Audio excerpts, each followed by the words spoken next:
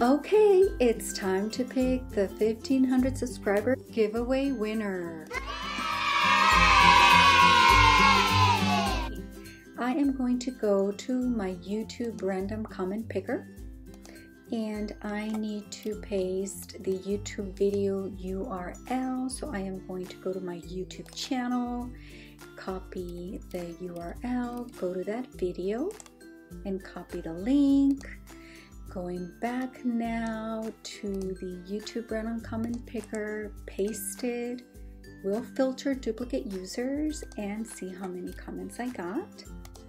So it tells me I got 35 unique comments and now I am going to start the raffle and pick a random winner. Good luck everybody! And the winner is Nicole D. Nicole says, my favorite thing about your channel is that you say the truth about the items you purchase. I like it so that I know what to spend my money on and what not to. My favorite character is Hello Kitty. She makes me so happy. She always puts me in a good mood.